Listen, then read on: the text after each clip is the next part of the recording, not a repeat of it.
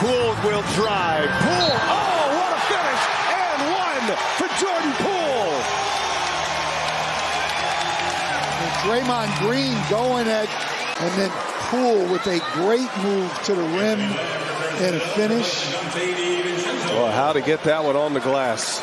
What a finish by Jordan Poole.